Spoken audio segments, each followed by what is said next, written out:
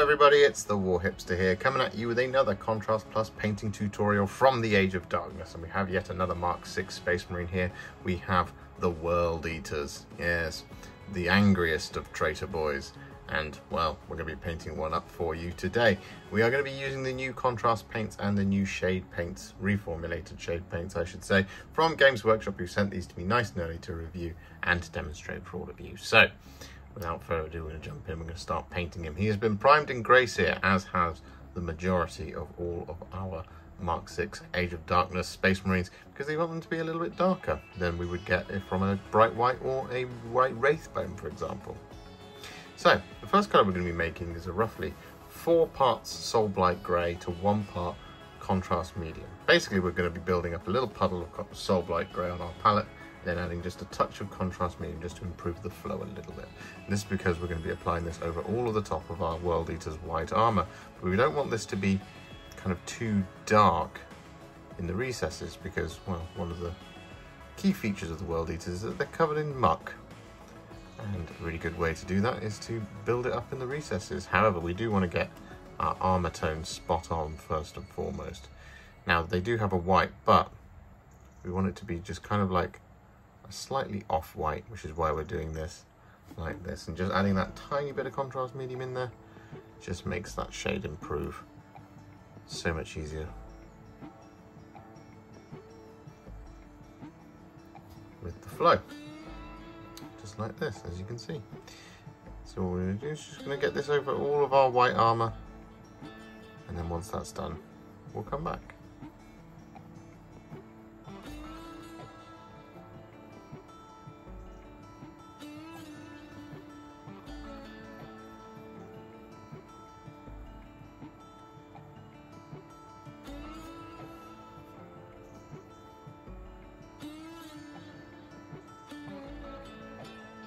Soulblight Grey and Contrast Medium mix applied, just whilst we're waiting for it to dry, what we're going to do is we're going to take some of the new Asurmen Blue and we're going to paint this over, well, the blue details. Now this is going to include his shoulder pads and this backpack. So we're just going to start painting this over the top here.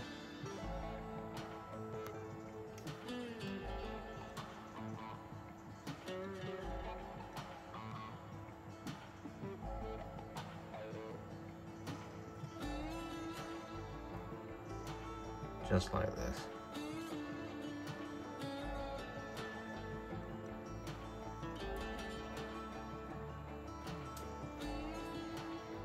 So with that Asurmen blue applied to the shoulder pads and the backpack, what we're going to do now is we're going to take some Seraphim Sepia and we're just going to drop this into the recesses on the white armor. So you just want to very carefully here, just kind of start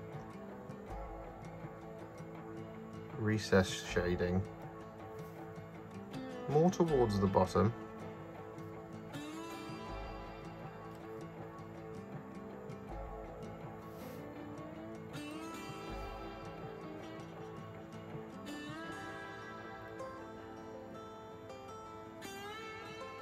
And you can do as much or as little of this as you want. And it doesn't matter if you kind of go outside the lines a little bit. It will just look like the grime is kind of been set free a little bit.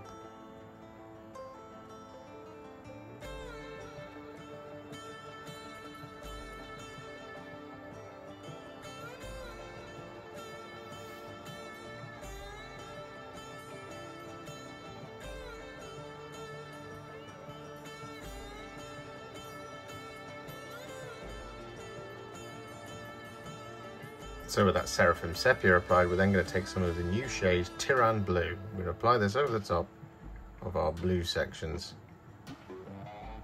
Just to add us a little bit more darkness, a little bit more punch to those blues.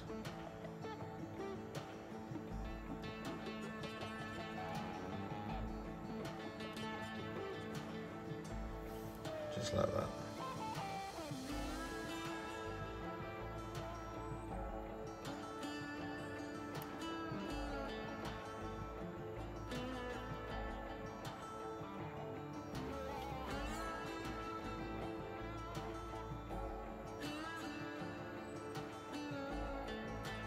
With that Tyran blue applied, it's still drying, but that's okay because what we're going to do is we're to move on. We're going to take some Black Legion now. and we're going to start painting this into all of our black details. So this is going to be areas such as the soft joints in his armour,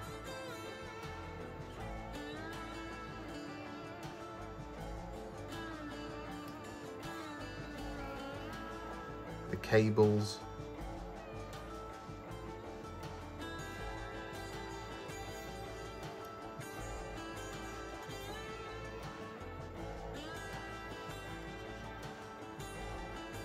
bolt gun casing, and any leather details. For example, this holster just here. So with that done, what we're now going to do is we're going to take some Garaghak's Sewer. I'm going to apply this to his skin, to his visible face, just around here.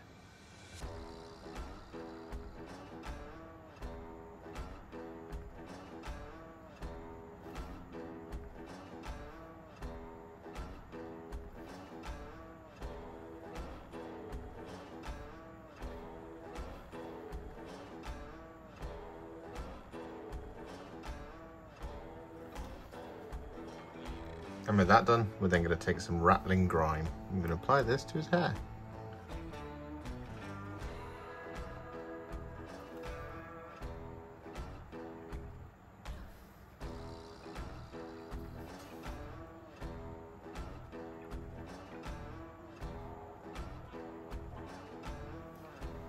Just like that. With that now done, what we're going to do is we're going to take some thinned down leadbelcher and we're going to apply this to all of the mechanical areas on his gun and on his backpack.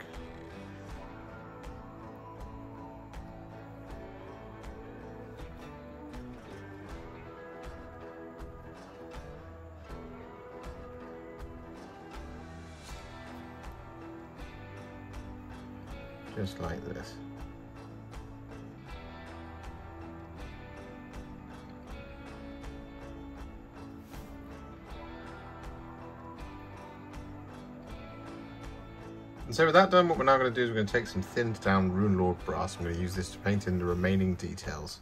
So this will be areas such as this assembly up here.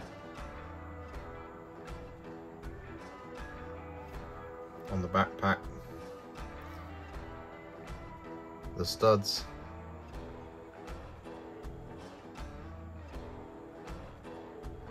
And the harness.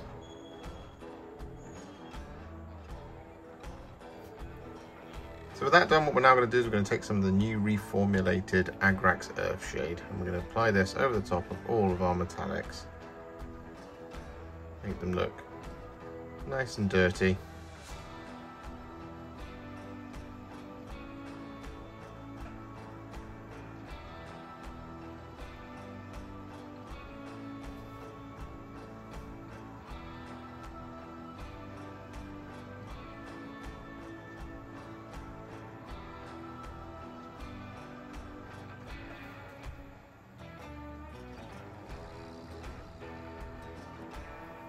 Just like this.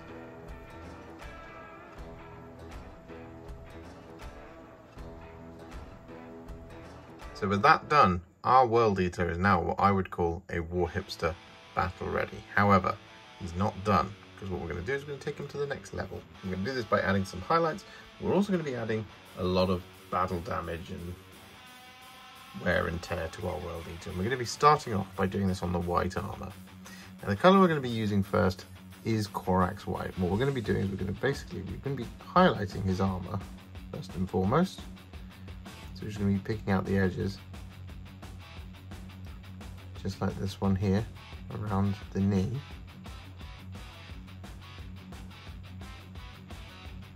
Like that.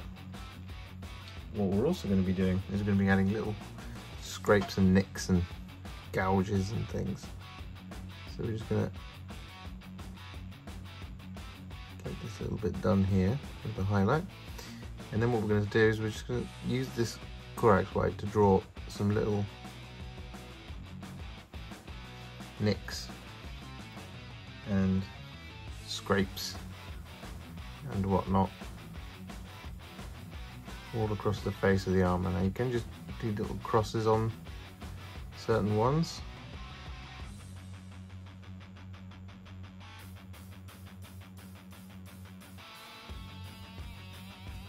Like that. It'll look a little bit subtle at first, but if you build this colour up, you can do sort of bigger ones and smaller ones. So for example, we'll do this edge around here, like that. And then what we'll do as well is we'll just add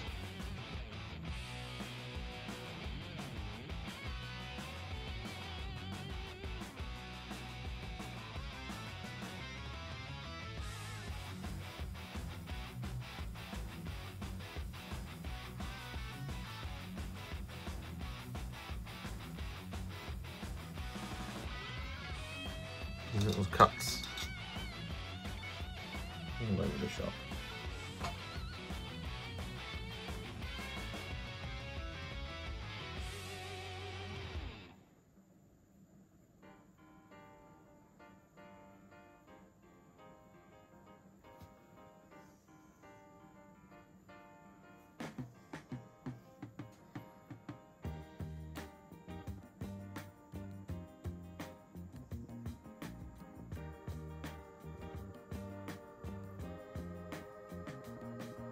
So with that Corax white applied all the way around, as you can see, we've got the little nicks and scrapes. Like that. What we're going to do now is we're going to take some Garaghak's sewer. I'm going to use this to add a little bit more of the old damage. So what we're going to do, for example, is we're just going to add little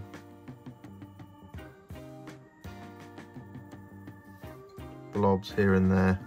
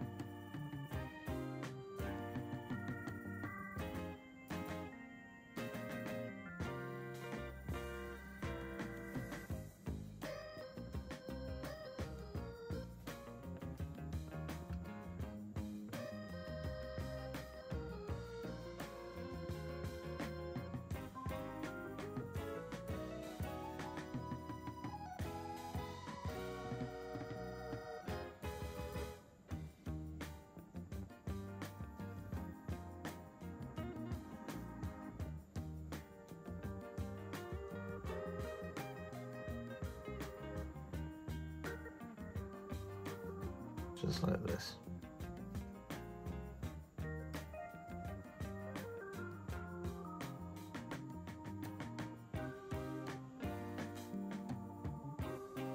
So with that done, as you can see, it's looking pretty cool.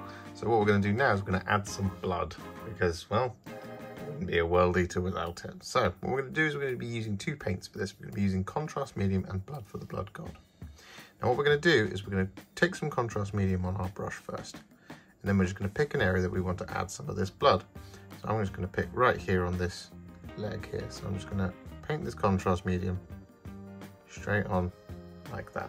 I'm going to wash the brush and then I'm going to grab some blood for the blood god. And then I'm basically just going to draw over where we've got that contrast medium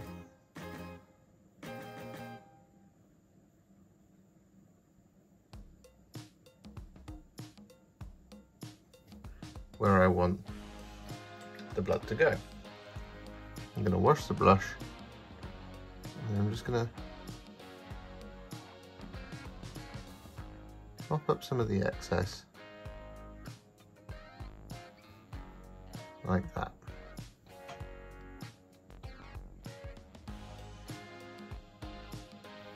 that's going to look a little bit ropey at first. Don't worry, in just a minute it's going to look awesome. So once again, just to add a little bit more. And add some just here. So there's some contrast medium. Tiny bit of blood for the blood god with a clean brush.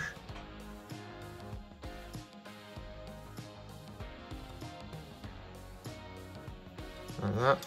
Wash the brush. And then just mop up the bits that I don't want.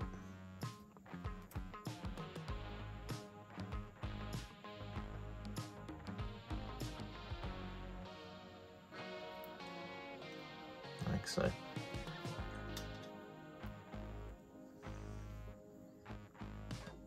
So once that's done, what we then want to do is we want to take a little bit more blood for the blood god. And now we want to kind of add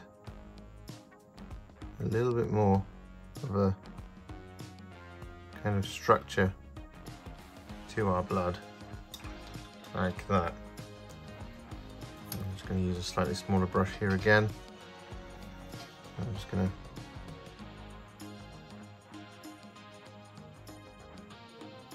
to add a few little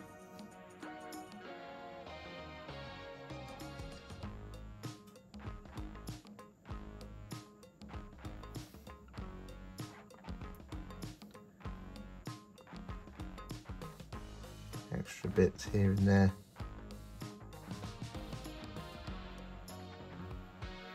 Just like this.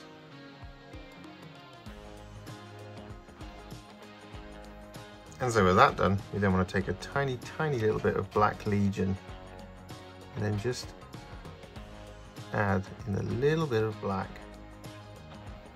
in the darkest parts of our blood.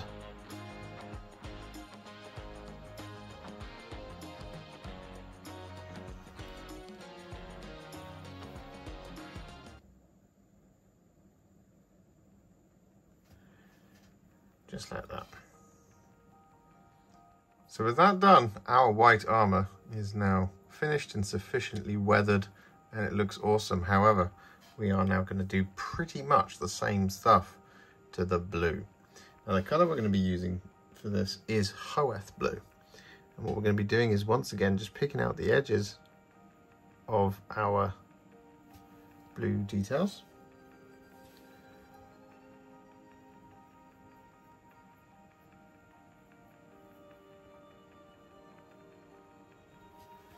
that sort of thing. However, what we're also going to do is we're going to start adding those little scratches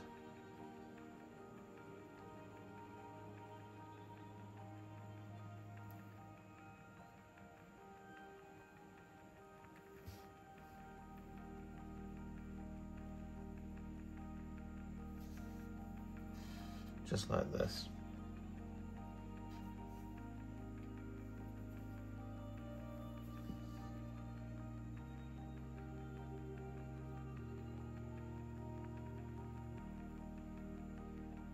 And so with that done, we're then going to once again take the Garaghak's sewer.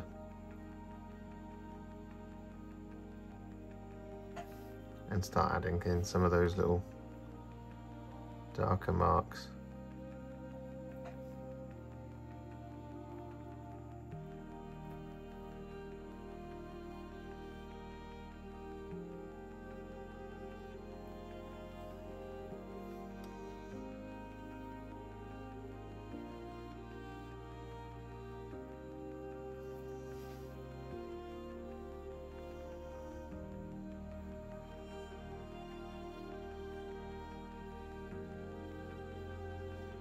So with that done, just to finish it off, what we're going to do is we're going to take a little bit of Lothern blue.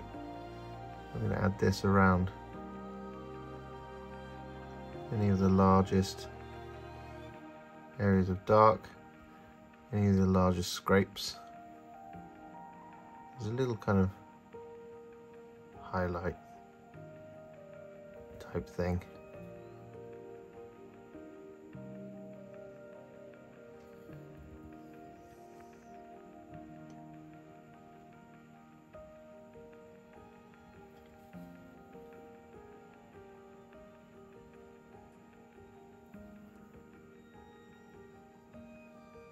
So with that done, all of our blue and white armor is now finished. So what we're going to do is going to move on to the metallics. And we're going to highlight all of them using some Ironbreaker. So that's including the areas that we did with the brass.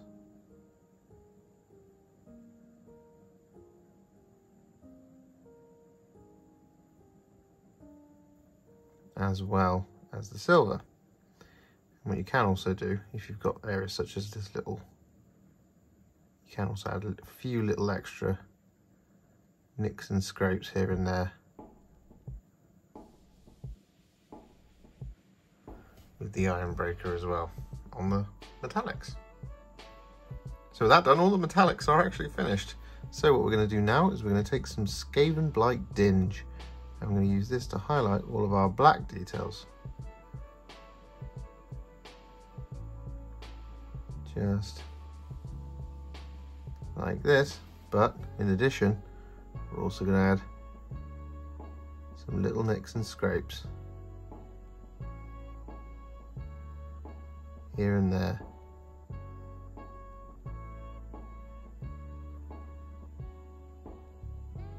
with Skavenblight Dinge as well.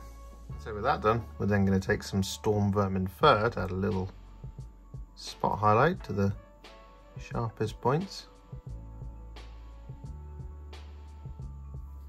And we're also going to use this to add a little highlight to some of our nicks and scrapes.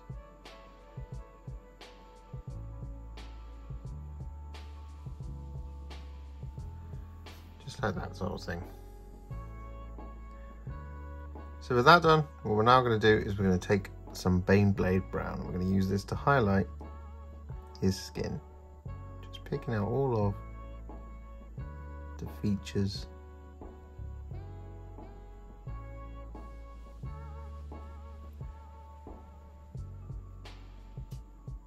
Such as his brows and the wrinkles on his forehead.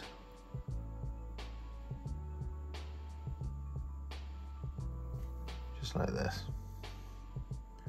And so with that done, we're then going to take a tiny bit of Karak Stone, just add a little bit of a spot highlight to the sharpest points on his skin. So just up there, just here on the brow,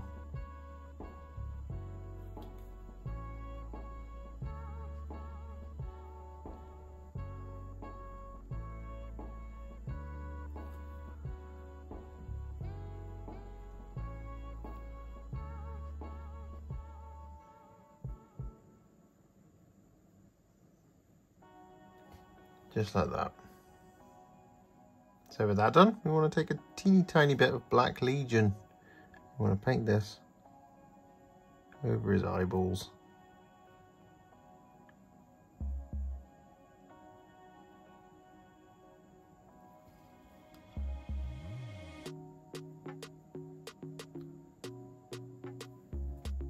And so with that Black Legion applied, we then want to take a really tiny dot of Screaming Skull. I'm going to add this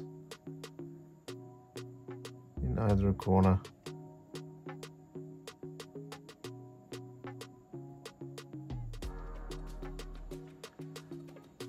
Oh, of his eyeballs.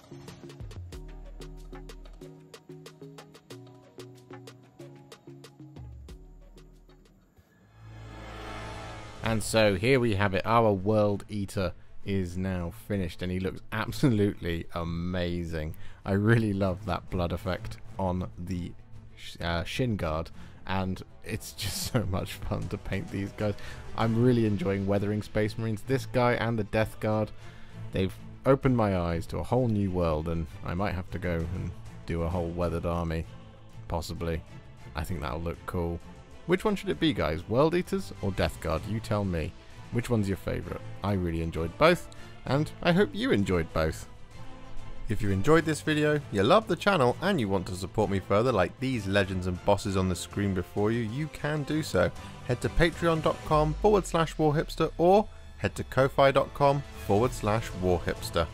Alternatively, you can now become a YouTube channel member by heading to the channel page and clicking on the join button just here, exactly like these awesome folks have done.